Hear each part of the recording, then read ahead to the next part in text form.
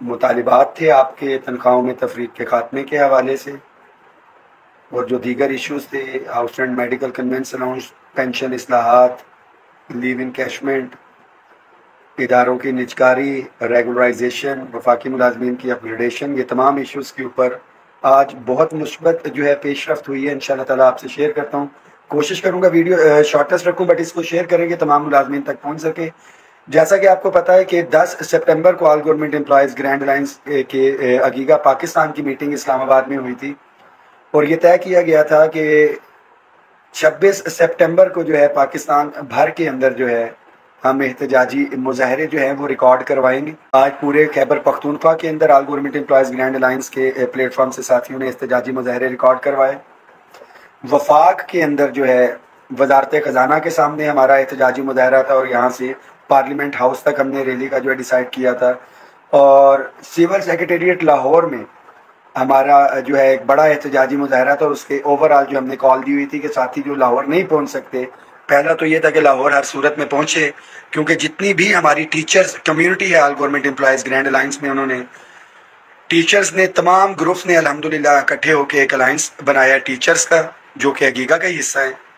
اور اسکولوں کی نچکاری اور ٹیچرز کے ایشوز اور دیگر معاملات کے حوالے سے پروٹیسٹ سول سیکریٹریٹ کے باہر رکھا گیا تھا جو مثبت پیش رفت ہے، وہ یہ ہے کہ احتجاجی مظاہرے ہمارے اپنے ٹائم کے اوپر جو ہے ڈیفینیٹلی ختم ہوئے اور عموماً پاکستان کی تاریخ گواہ ہے کہ احتجاجی مظاہروں کے بعد جو ہے مذاکرات نہیں ہوتے۔ جب بھی مذاکرات ہوئے، کوئی ریلیف ملا ہے تو وہ دھرنے کی جب کال دی ہو اس سے ایک دن پہلے یا دھرنا جب پرولونگ ہو جائے، تعداد کو دیکھا جاتا ہے، پھر گورنمنٹ جو ہے نیگوسیشن اور اس کے اوپر آتی ہے۔ بجٹ کے اندر بھی ایک کمیٹی بنی تھی رانا ثناء اللہ صاحب کی۔ آج کا جو ہمارا احتجاجی مظاہرہ تھا، اس کے بعد رانا ثناء اللہ صاحب کے ساتھ ہماری جو ہے، ہمیں کہا گیا کہ جی میٹنگ ہوگی۔ میں نے بڑا کلیئر کٹ ڈسٹرکٹ انتظامیہ کو کہا کہ جی لاسٹ میٹنگ میں بھی فائنینس موجود نہیں تھی۔ فائنینس کی نمائندگی اس کے اندر ہمیں چاہیے۔ کیونکہ ون سائیڈڈ جو چیزیں ہوتی ہیں، جب تک اس کو انڈورس یا ریجیکٹ نہ کرے تو اس کا فائدہ نہیں ہوتا۔ تو additional secretary regulation finance division کی جانب سے اس میٹنگ کے اندر تھے۔ اور بڑے شارٹ نوٹس کے اوپر جب یہ میٹنگ ہوئی تو ہمارے تمام قائدین نہیں تھے، مگر جو قائدین کرنٹلی ادھر اویلیبل تھے، کیونکہ احتجاج کے بعد بارش بھی ہوئی تھی تو ہم مذاکرات میں گئے۔ اس میں جو ہمارے ایشوز تھے، سب سے پہلے جو ہے، تنخواہوں میں تفریق کے خاتمے کے حوالے سے میں بات کر دوں۔ بڑا تفصیلی اس کے اوپر بات ہوئی ہے اور آج پہلی دفعہ ایسا ہوا ہے کہ مذاکرات کے اندر جو ہے مجھے سخت الفاظ بھی استعمال کرنے پڑے اور بڑا کلیئر کٹ جو ہے یہ میں نے میسیج دیا رانا ثناء اللہ صاحب کو کہ وزارت خزانہ جو ہے وہ ان محروم ملازمین کو اور کلاس ایک گریڈ ایک سے سولہ کے ملازمین کو شاید شودر سمجھتی ہے کہ اگر ریلیف دینے کی باری آئے تو طاقتور محکمے تو لے رہے ہیں۔ سیکریٹریٹ کے افسران کو بھی دے دیا گیا، مگر ود ان میں نے کہا ڈپارٹمنٹ میں تو ہے ہی ہے، یہاں پہ سیکریٹریٹ کے اندر، کمروں کے اندر جو ہے تفریق ڈالی گئی اور دیگر جتنے بھی محروم ملازمین ہیں اس سے جو ہے یہ مایوس ہو رہے ہیں۔ پہلے ایجنڈے کے اوپر بڑا کلیئر کٹ جو ہے یہ ڈسکشن ہوئی۔ دوسرا ایجنڈا تھا ہمارا پینشن ریفارمز کے حوالے سے۔ بڑا کلیئر کٹ میسیج ہم نے ان کو کنوے کیا کہ جی ایک ایگریمنٹ کے تحت ملازمین اس کے اندر آئے ہیں۔ ایک طرف تو گورنمنٹ آئی پی پی ایس کی بات کرتی ہے کہ جی ایگریمنٹ ہوا ہے۔ اور نائنٹین سیونٹی تھری کے رولز جو ہیں وہ چینج کیے جا رہے ہیں پینشن کے اندر کمی لانے کے حوالے سے۔ کہ ایک ایگریمنٹ جو ہے رولز جو چلتے آ رہے ہیں، ایک بندہ سن اسی کے اندر یا پچہتر یا ساٹھ کے اندر بھی آیا، ابھی ریٹائر نہیں ہوا تو اس کے رولز چینج کر دیے جائیں گے۔ بھرپور طریقے سے ہم نے اپنا میسج کنوے کیا اور بڑا کلیئر کٹ بتایا کہ ملازمین کسی صورت بھی اس کے اوپر تیار نہیں ہے گورنمنٹ کو اس کے اوپر جو ہے سٹیپ بیک کرنا پڑے گا۔ تیسرا جو ہمارا ایشو تھا house rent medical conveyance allowance کے اوپر بڑا کلیئر کٹ اس کے اوپر ڈسکشن ہوئی اور اس کے اوپر بھی بتایا کہ کنوینس الاؤنس جو ہے، جب چونسٹھ روپے پیٹرول تھا تو جو ساتھی ابھی آئے ہیں، یہ میں بتاتا چلوں کہ یہ میٹنگ کا جو ہے میں ذکر کر رہا ہوں، جو آج رانا ثناء اللہ صاحب کے ساتھ ہوئی ہے، اور ایڈیشنل سیکٹری ریگولیشن جو ہے اس مذاکرات کے اندر تھے اس میسج کو شیئر بھی کر دیں۔ کہ جب پیٹرول چونسٹھ روپے تھا تو تب بھی ہمارا کنوینس الاؤنس تھا، اور جب تین سو ہوئے اور ابھی ڈھائی سو پہ فلیکچویٹ کر رہا ہے۔ میڈیکل الاؤنس دس سال سے وہی چل رہا ہے، دوائیاں کتنی مہنگی آ گئی ہاؤس رینٹ اور ہائرنگ کہ ہائرنگ میں تو پھر بھی اضافہ ہو جاتا ہے ہاؤس رینٹ جو ہے دس سالوں سے رکا ہوا ہے۔ اور as per rent restricted ordinance دو ہزار ایک کہ قانون کرایہ داری اسلام آباد جو دو ہزار ایک کا ہے، مالک مکان اس کے تحت ہر تین سال کے بعد کرایہ بڑھا دیتا ہے، جنہوں نے ہائرنگ کروائی ہے ان کو وہ کرایہ دینا پڑتا ہے۔ بٹ پیرل ٹو ڈیٹ گورنمنٹ جو ہے ملازمین کی ہائرنگ کے اندر اضافہ نہیں کرتا اور وہی ایک طرف گورنمنٹ کی پالیسی ہے کہ کرایہ بڑھایا جائے، مالک مکان کو پیسے دینے ہیں، مگر جو پیسے ملازم نے دینے ہیں گورنمنٹ اس کے اندر جو ہے ریلیکٹنٹ ہے، ابھی تک وہ نوٹیفیکیشن نہیں کیا گیا اور وہ فائل کو گھمایا جا رہا ہے دائیں سے بائیں۔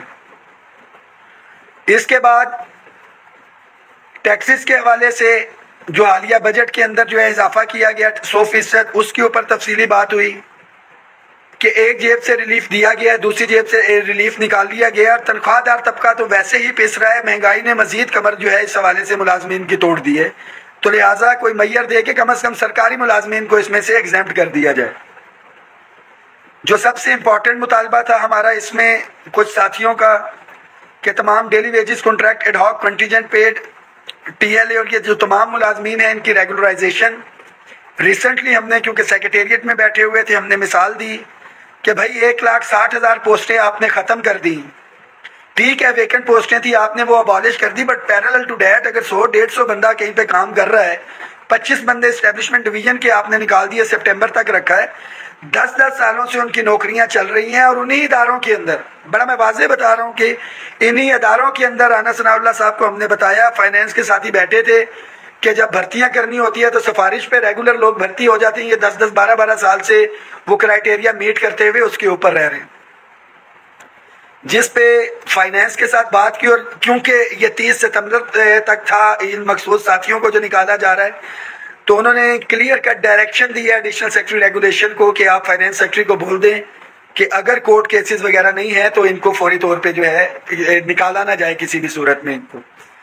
اس کے بعد آخری جو ہمارے اداروں کی نچکاری یا بندش کا ایشو تھا، اس کے اوپر ہم نے رانا ثناء اللہ صاحب کو جو ہے وہ آگاہ کیا ہے اور یہ ڈیمانڈ کی ہے کہ اس کے لیے سیپریٹ کمیٹی کہ اگر آئی ایس کو سے ہمارے ساتھی عاشق صاحب موجود تھے وہاں پہ، کہ ان کے ایشوز کے حوالے سے ایک کمیٹی جو ہے پاور ڈویژن کے متعلقہ افسران کے ساتھ بٹایا جائے۔ ہم حکومتی نمائندے بھی بیٹھیں اور یہ قائدین اپنا موقف جو ہے پیش کر سکے کہ جو بتایا جا رہا ہے، ادارے لاس میں جا رہے ہیں، وہ لاس میں نہیں ہے اپگریڈیشن کے حوالے سے بڑا کلیئر کٹ موقف لیا میں نے وہاں پہ کہ افسران کو تو صوبوں کی طرف پہ ایگزیکٹو الاؤنس دیا گیا ہے، مگر اپگریڈیشن کی بات آئی تو کیونکہ شودر ملازمین تھے گریڈ ایک سے سونا کہ ان کی اپگریڈیشن نہیں کی گئی۔ اور اس میں بھی جو سب سے زیادہ شودر ملازم سمجھا گیا کلاس فور کو اسکیل تو دے دیے ان کے الاؤنسز نہیں دیے گئے ان کو۔ وزارت خزانہ نے صرف ایک لائن بیچ میں لکھ کے کہ سبسٹینٹو پے اسکیل دیا گیا ہے۔ ان تمام ایشوز پہ بات ہوئی۔ کچھ ایشوز پہ اب میں کنکلوژن کی طرف آتا ہوں کہ جو رانا ثناء اللہ صاحب نے یقین دہانی کروائی کہ کل کے دن ہی جو ہے آئی ایم ایف کے ساتھ جو ہے ہمارا الحمدللہ معاہدہ جو ہے غالباً بارہ ارب روپے کا ہو گیا ہے۔ تو انہوں نے کہا ہے کہ ہمیں ریلیف ملا ان شاء اللہ تعالیٰ کوئی نہ کوئی کوشچن ہم اس میں سے دیکھیں گے۔ وزارت خزانہ کو انہوں نے ہدایت جاری کی ہے۔ کچھ چیزوں پہ بات ہوئی کہ جی بجٹ کے حوالے سے ہیں۔ تو یہ ڈیسائیڈ ہوا ہے کہ اگلی میٹنگ سے پہلے جب ہوگی تو فائنینس ڈویژن جو ہے فائنینشیل امپیکٹ نکال کے لے کے آئے گی۔ اور بڑا کلیئر کٹ وہاں پہ آئی ایم ایف کے حوالے سے بھی بات ہوئی کہ جی ان کی یہ ہے تو بجٹ میں، مگر کیونکہ ہم ورکنگ کے ساتھ تھے، ہم میں نے باور کروایا وہاں پہ کہ ہمارے ہی ڈیفینس پیڈ امپلائیز ہیں، ان کو بجٹ کے بعد جو ہے ان کی تنخواہوں میں اضافہ کیا گیا ہے۔ ان کو سویلینز کے جو فوج کے ساتھ جو ہے ملایا گیا ہے، جس پہ انہوں نے پوچھا۔ ہمارے ایڈیشنل سیکٹری صاحب نے دائیں بائیں کر رہے تھے میں نے صرف کہا کہ جی ہوا ہے یا نہیں ہوا تو انہوں نے ایڈمٹ کیا جو ہمارے حق میں گیا کہ بالکل جو ہمارے ڈیفینس پیڈ سیول امپلائیز ہیں ایف سیز ان کی تنخواہوں میں اس بجٹ کے بعد اضافہ ہوا ہے۔ تو اگر کسی اور کا اضافہ ہو سکتا ہے تو جو ہم محروم ملازمین ہیں، کیوں نہیں ہو سکتا؟ تو انہوں نے بڑا کلیئر کٹ فائنینس کو کہا کہ آپ ورکنگ کر کے لے کے آئیں ان چیزوں کی تک کہ وزیر اعظم صاحب کے آگے پریزنٹ کر سکیں۔ چودہ تاریخ کے دھرنے کے حوالے سے ہم نے بڑا کلیئر کٹ بتایا ہے کہ پورے پاکستان سے ملازمین چودہ اکتوبر کو جو ہے یہاں پہ آ رہے ہیں۔ جس کے اوپر جو ہے تفصیلی ڈسکشن ہوئی اور ہمیں بتایا گیا کہ چودہ اکتوبر تیرہ، چودہ اور پندرہ کو ہماری کوئی کانفرنس ہو رہی ہے جس میں چائنا سمیت بارہ ممالک کے جو ہے سربراہان آ رہے ہیں۔ میں اس کو ایک دفعہ کنفرم بھی کروں گا۔ تو اس کے اوپر ڈسکشن ہوئی ہے اور یہ تمام چیزیں جس پہ ہم نے انہیں یہ یقین دہانی کروائی ہے۔ کہ الائنس میں شامل تمام یونینز ایسوسیشنز کے قائدین سے مشاورت کے بعد چودہ تاریخ کے حوالے سے ہم جو ان شاء اللہ تعالیٰ لائے عمل بھی طے کریں گے اور یہ بھی ہم نے انہیں باور کروایا ہے کہ آپ ملازمین کو ریلیف دیں۔ جو میرے ملازمین پسے ہوئے اسکولوں کی نجکاری کے حوالے سے یہ دیگر تمام ایشوز اداروں کے حوالے سے لیو انکیشمنٹ پہ خاص طور پہ بات ہوئی۔ تو all government employees grand alliance جو ہے وہ بالکل اپنا کلیدی کردار ادا کرے گی جو ہمارے دوست ممالک آ رہے ہیں ویسے سرکاری ملازم بھی اور الائنس کے بھی۔ ہم ان کا استقبال بھی کریں گے بہت اچھی طرح سے اور ہم نے یہ بھی کہا کہ جی پھولوں کی پتیاں لے کے ہم کھڑے ہوں گے ہمارے اگر ملک کے اندر وفد آ رہا ہے۔ As a gesture of goodwill بر ریاست کو بھی ہمارے سر کے اوپر دست شفقت رکھنا ہے۔ یہ وہ تمام چیزیں ہیں جو آج کی میٹنگ میں جو ہے ہوئی ہیں۔ اور ان شاء اللہ تعالیٰ اس کے حوالے سے جو امپورٹنٹ چیز ہے ہمارا انفارچونیٹلی فالو اپ نہیں ہوتا۔ ہمارا چودہ کے جو معاملات ہیں اور دیگر ہے اس کا یہ بھی ڈیسائیڈ ہم نے کیا ہے کہ کس کس ایجنڈے پہ کیا بات ہوئی ہے۔ اس کے ریٹن منٹس جو ہیں، انشاءاللہ تعالیٰ وہ جاری ہوں گے آفیشلی اور ٹائم لائنز کے ساتھ ہم اس کو فالو کریں گے بٹ جو ہمارا احتجاج ہے، اگر یہ ایشوز حل نہیں ہوتے، جو دھرنا ہے، وہ ہمارا وفد آ رہا ہے۔ ہم مشاورت کے ساتھ موخر تو کر سکتے ہیں، کسی صورت میں ختم نہیں کریں گے۔ اور دو چار دن، ہفتہ دس دن آگے پیچھے کر سکتے ہیں، ساتھی بھرپور تیاری رکھیں۔ فی الحال، جب تک یہ آفیشیل منٹس جس کے اندر یہ کمٹمنٹ سے آ نہیں جاتی، چودہ تاریخ کا دھرنا اپنی جگہ پہ انٹیکٹ ہے۔ الحمدللہ، آج کی جو میٹنگ ہے، انتہائی پازیٹیو رہی ہے، خاص طور پہ محروم ملازمین کے حوالے سے۔ ان ریٹرن یہ چیز آ رہی ہیں۔ جب تک یہ حل نہیں ہوگی، یہ عمر فاروق صاحب بات کر رہے ہیں جو پہلے وعدے ہوئے، عمل درآمد نہیں ہوا۔ تو تمام ساتھیوں کے لیے میسیج ہے کہ اگر عمل درآمد نہیں ہوا تو پچیس جولائی کو لاہور میں ماڈل ٹاؤن کے سامنے مسلم لیگ نون کا جو مرکزی آفس ہے، ہم نے وہاں پہ بھی احتجاج کیا۔ اگر پچھلے وعدوں پہ عمل درآمد نہیں ہوا تو آج پورے پاکستان کے اندر احتجاج ہو رہے ہیں، تو اسی لیے ہو رہے ہیں۔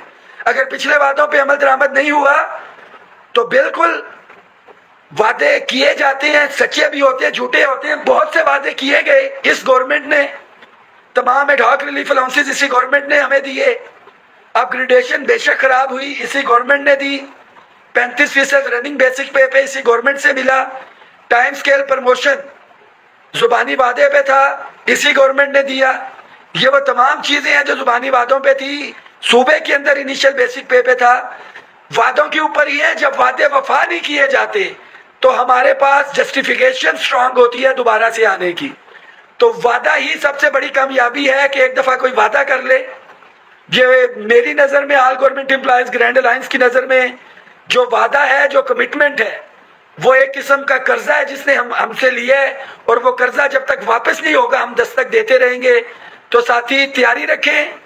ہر صورت میں، ہر صورت میں آپ کے جائز آئینی مطالبات کے حوالے سے ہم پیچھے نہیں ہٹیں گے۔ تمام قائدین کی مشاورت کے ساتھ انشاءاللہ تعالی آگے کا لائے عمل جو ہے، وہ دیا جائے گا۔